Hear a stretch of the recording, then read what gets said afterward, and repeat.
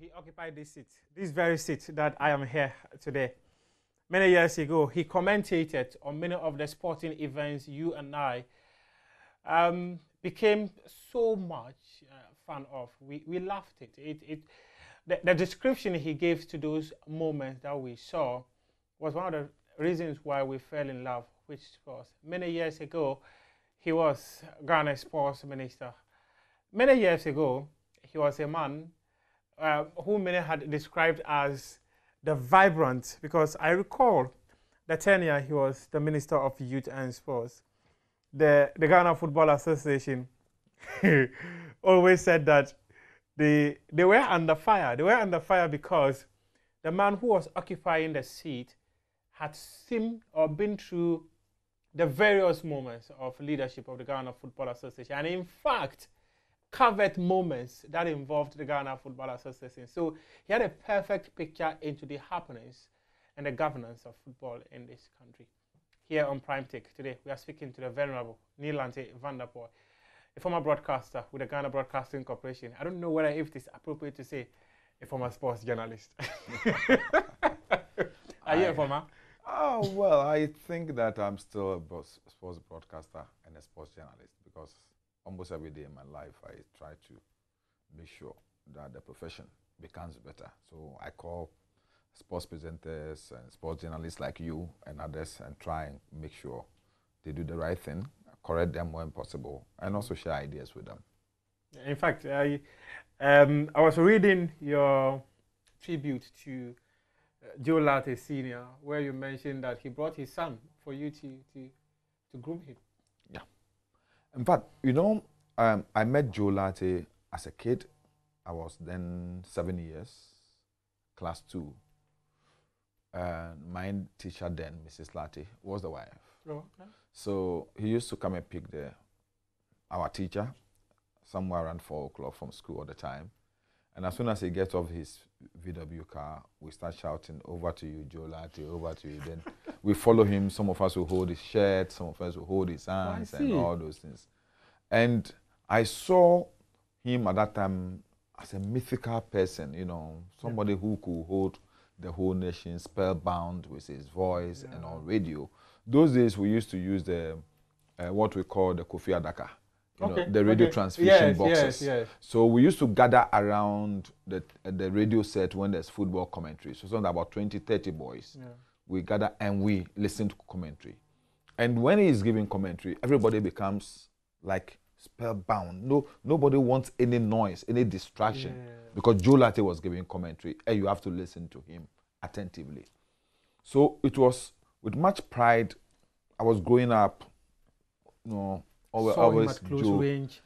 And then one day, when I think I was around 11, and I went to the race course, and it was a Derby day. Okay. And the way he was mentioning the name of the horses, mm. those days, funny, funny, pleasant names of horses, and the way he was mentioning their names and the finesse with which he was giving the commentary, I was just looking at him, admiring him from afar. Then something dawned on me that I want to be like this man. So he actually inspired your journalism journey. Yes, because um, my grandfather was so keen in my education, and he was a medical doctor. Oh, okay. He owned um, a private medical facility, and I was the first grandchild. Oh, okay. And he wanted me to to take over. Oh. So he was like tailoring me towards medicine. Yeah. But um, fundamentally, I saw within myself that I do not have the ability for that. I, I, I, I care and sympathize with people so much that I may not be able to be a good doctor. So Joe Lartey inspired you, you can't stand pain? No, I can't. I can't. I can't stand seeing people go through pain. Oh wow! You understand? It's difficult. It's difficult for me. It's, it's sometimes I become too emotional. Yeah.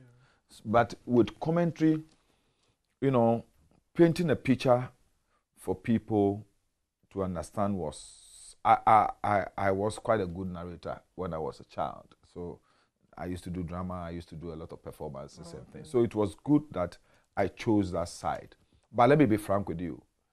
Um, when I got to know that the legendary Joe Lartey was actually the husband of my teacher. Mm. It made me become more interested in him. And, How? and, and, and as a child, twice I visited broadcasting. I visited him, Oh, our okay. school, school children. We used to go to the zoo and then go to the broadcasting. Okay. And when we go broadcasting, I became, I went to the studio to stand there, look at him, uh, doing, uh, presenting sports at that time. And through him, I became fond of all the legend, legends of broadcasting. Ken Amwa, Nianum Thompson, Harry Thompson, uh, Eric Berkun, and all those people. So my transition from uh, uh, university to GBC was that smooth. It wasn't too difficult because I already, before I got into the university, I already had an idea of what You wanted to. I wanted to be. And, and so it was easy for me to gravitate towards that area. So um, the first year I had a problem with the courses I chose. What were they? Um, in fact, I was doing the first um, year I was giving English, political science, and then uh, law. Okay. Uh, but then I couldn't pursue the law. And so I went back to the then Dean of Students, Professor Bule. I convinced him to change the law to classics. Okay. Uh, so the combination was difficult for me to hold. So it became English, classics, philosophy. All has some, something to do with English language English, yes. you know, the pronunciation and all sort of writing and all this. So it, it, it fitted well into my dream job. And it, it was not by accident that I got uh, employed by GBC even before I left the university campus. Oh, so you, you were uh, in the university when GBC employed you? Yes. I How, was in how did that year. happen? Or they had they had seen what you were doing? Well, let me say my, my thanks and gratitude go to the late president, John Evans Atta Mills. Oh, okay. when when uh, Professor Kofi Kumado and Dr. Esuman used to run commentary for most sporting activities on campus. The former sports minister, Prof. Kofi Kumado? yes, Kofi Kumado. Oh, wow, he was I see. chairman of the GFA board Yes, at yes, the time. yes, yes. the leg- uh, the law professor. Oh, I see. So they used to do commentary, but they were all lecturers. So sometimes they had lectures, and so the campus, the sporting activities are done without commentary. So one day I just said, look, after doing my 400 meters, I said, let me do the commentary. They were all surprised. And I did it with finesse. I did it with, with without any distance. You know, I then felt that I could do it, but I've never exploited it. yeah. I could feel within me that I could do it. So everybody, the whole campus, the Legon uh, Athletics Oval, everybody was shocked. Who is that? And then Professor just came to me and said, "Aw, uh, Epede Beko broadcasting, Beko Ejima broadcasting," and I said, "Inyo, it's okay." So the next day, he was then the Commissioner of Internal Revenue Service. Okay. But he was the president of the Amalgamated Sports Club of the University of Ghana, means the president of the Sports Association. Yeah. And I was then the sports secretary of Sarbah Hall. Okay. So as soon as he said the next day, he brought me this advert in the newspapers and said I should apply. So I just picked um, A4 sheet, asked for his pen, and then wrote application on his bo- bonnet, car bonnet Oh, I see. just by the loggia, Sarbah Hall loggia. Because that time we're training, we're playing football on the field. Yeah. Yeah. we're training for the West Africa University Games. Okay. So I applied, and then he took it away and went and gave it to Mr. Kofi Totobi Quakyi, who was then the Minister for Oh, okay. Information. Okay. So Totobi Quakyi called me, and we had a discussion at Nana Kwampim, the late Nana Kwampim's office at Opeibea House, the top. Okay. Okay. And there they were actually discussing issues about Accra House of Folk. And so they called me when I went there. I felt misplaced because they were discussing. So I sat there for some time. And then he came out and told me that uh, the then Director General of Ghana- Ghana Broadcasting Corporation, Mr. George Ayi, M- George Mensah Ayi, uh, had requested that I should come to GBC the following morning. So the following morning when I went to GBC, I was told that I should rather report at the old drama studio where the current National Theatre is situated. When I went there, a whole lot of people, over a thousand something people. And they were just looking to recruit just about 20 people. So we went to audition. I it got to my turn around five o'clock in the evening. So as soon as I finished, I went back. I was so so disturbed because I had missed my training. I didn't. I I, I was one person who never joke with his training. You were were you playing football or you were doing a multiplicity of disciplines, athletics, football, everything? Hey, you better go back to the University of Ghana and ask them. I was a duck athlete when I was I at see. university, yes, and also multiple sporting disciplines. I played football, ath- did athletics, hockey, volleyball, and if there was rugby at the time, I would have played. You have played. But on athletics day, I was doing 100 meters, 200 meters, 400 meters, long jump, triple jump, high jump, 800 meters, 1,500 meters. ah, Yeah, because you, at the university, it was difficult at that time to get people to do all the events. And so, if you are good and you want your hall to win, you must sacrifice. My predecessor, who is a lawyer, Jean Morellet, did the same. He was doing almost every event for the for the hall. Because we need to force people to virtually do athletics on the university campus at that time. Because the University of Ghana then was not friendly for sportsmen and women. Oh, okay. There were times when I had to do an event, run to lectures, run when I'm in the lecture room. I will be called that the next event I have to leave It's, the lecture ready. room, So come, run, go back. So, in, in fact, one of the things that affected me as a student then was the fact that I had to spend a lot of time organizing my people to do sports, motivating people to do sports, and training on my own as a sportsman. It wasn't easy because Sarbah Hall, because of the Mace Hall, you need to get organized both male and female athletes. Some people had talent, but when they got to university, they saw that look, the sports will affect their academic work. They, dis- they declined to do sports. Sometimes these people you have to talk to them, convince them to do sports.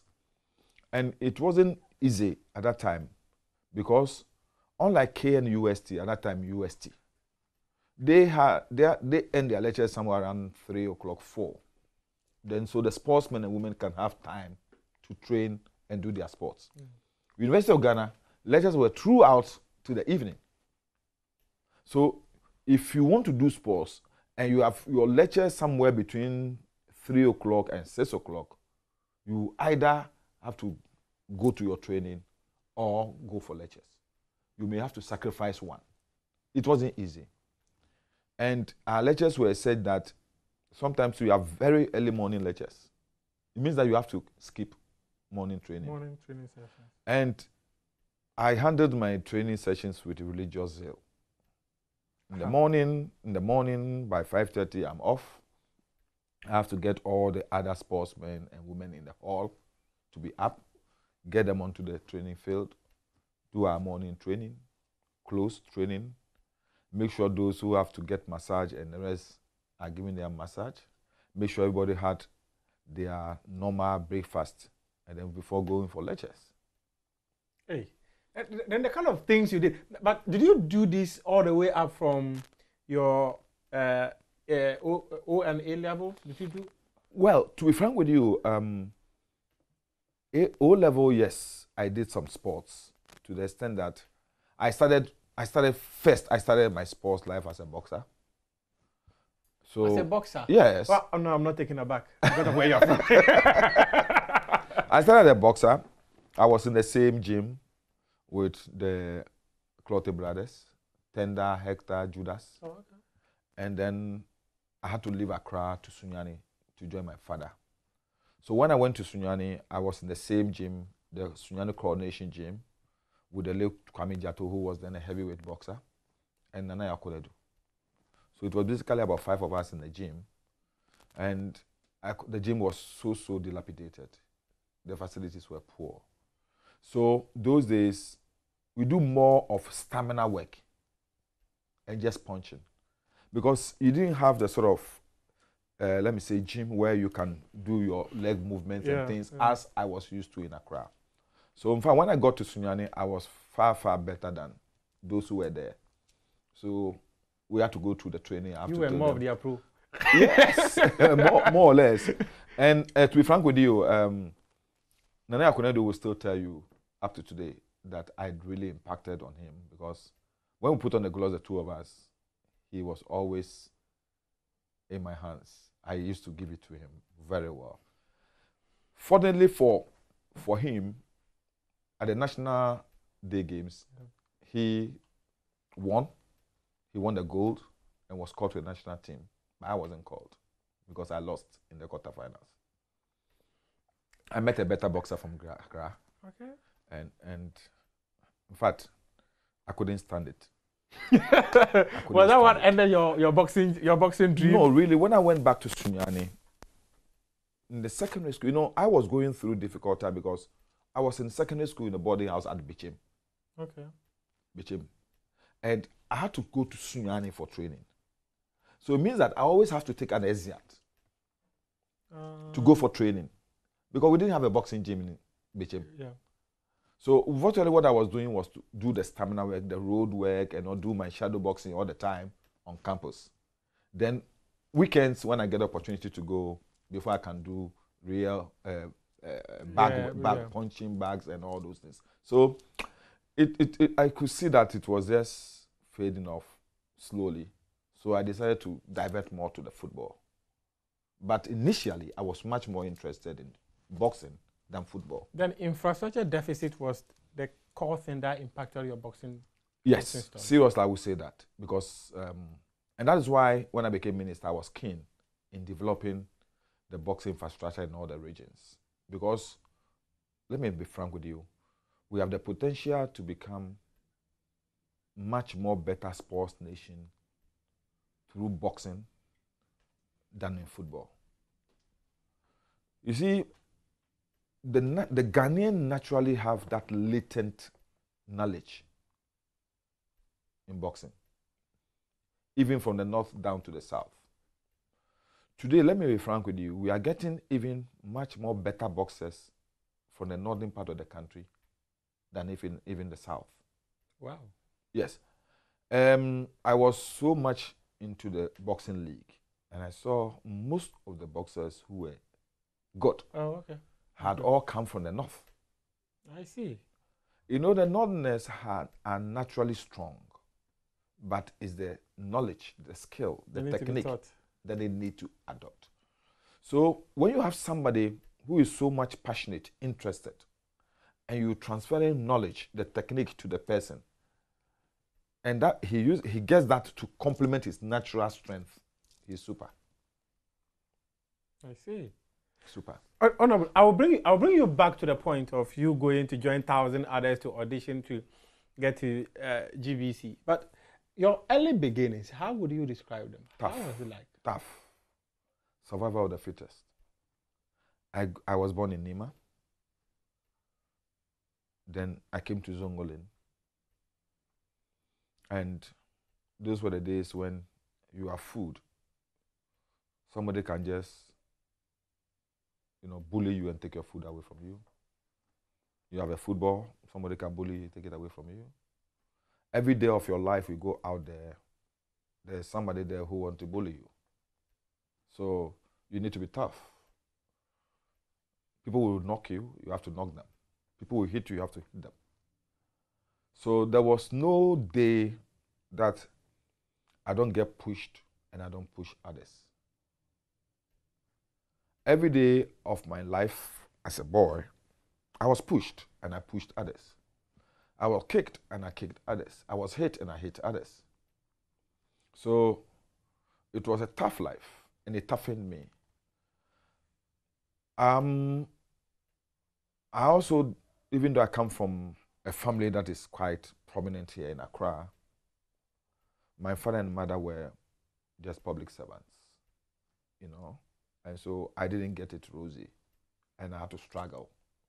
So playing Muncheni around, football around, to get some money, to support yourself, um, doing odd jobs, you know, going to carry concrete at building uh, construction sites, scavenging through the drains in Accra.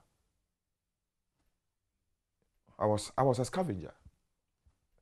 it wasn't easy because it was quite tough for um, me to decide to further my education because just after some time my father felt that look you better go and get I, am going I'm going to give you a job at the then city council to be a city guard. At a time he changed his mind i wanted to go to the police i wanted to go to the army. No so my mother saw that uh, i was doing good academically. So my mother was encouraging me. If i tell you that one day my father virtually beat up my mother because my mother was resisting his decision to let me go to the army. My mother felt that with my academic performance, I should continue. She was ready. So my father didn't know how I went to secondary school. My mother secretly, my mother had to secretly send money through people to buy me um, the books I needed. I had to study the books, the cover of darkness. When my father is coming, I have to hide the, the books under my bed. Because he was then seriously convinced that the way forward for me was to join the army. It wasn't easy. So, um, my mother decided that she would do everything to make sure I get education that I I desire. I was even though I was doing sports all over, playing football here and there, boxing here and there. I was also very very keen with my books. I didn't joke. I used to. It, it, yeah. things became difficult to a time, brother. I I was selling kebab. Up to today, my family, some members of my family do sell. It, it is our trade. It's like our business my family members do. When you are having a program, just tell me. I will let them come and do the kebab for you. yeah, we, we do it we do it so well. Yeah, I see. So well. Yeah, we do it so well. I know how to do it.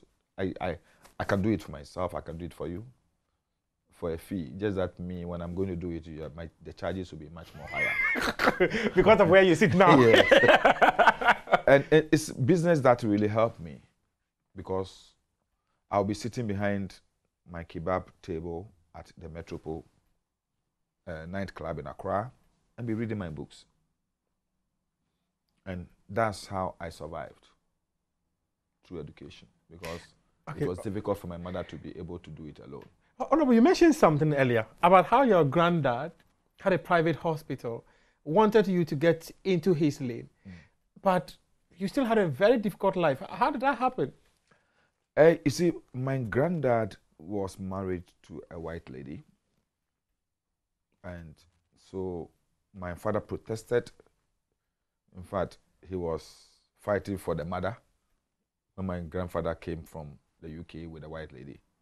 So it became a problem. He had a problem with his father. So, asking your grandfather was um, uh, married as a poly polygamous, yeah? Yes, yes, yes. How many wives?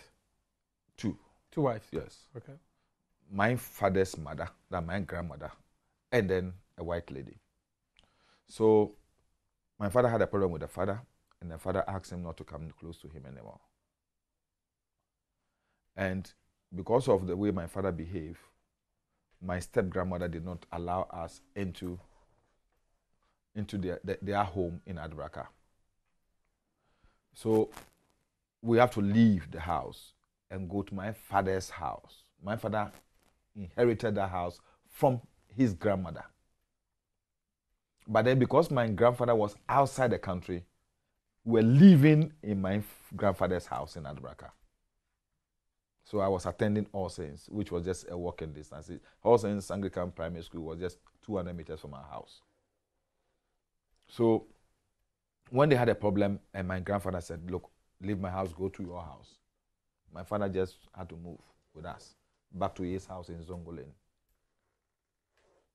So that is what severed the sort of direct relationship a bit with my grandfather. But then, in his will, he willed the hospital to me if I did medicine. If I didn't, he gave it out to Social Department of Social Welfare. Oh. Yeah. And because you didn't, it went to them? Yes.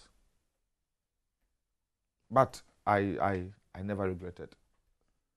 And I've always been proud of myself that I did what I desired, what I wanted to do.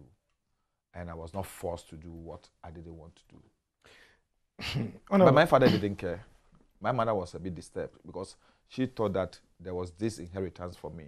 So she was pushing me, pushing me to do. So my mother was very, very, uh, let me say, disappointed when I didn't do medicine. But later on, when I started working GBC and on television, you on were making a name radio, for yourself. yeah, she became very happy. She became very happy, and she she got convinced that well, uh, if that is a path God has chosen for me, she was okay with it.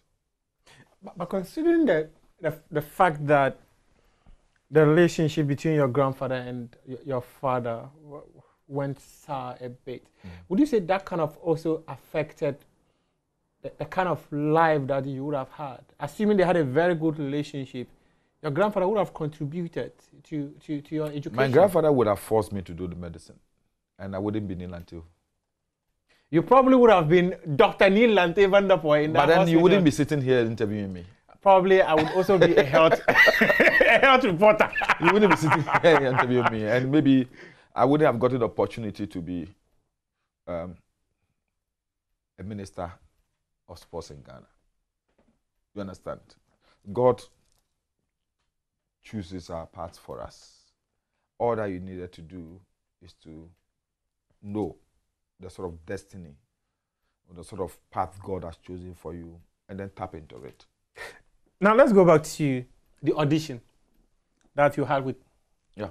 hundreds and thousands of Yeah. others because you needed only 20 people. You know the funny thing? One of the panelists of that audition just passed. Oh. And I doffed my heart out to him.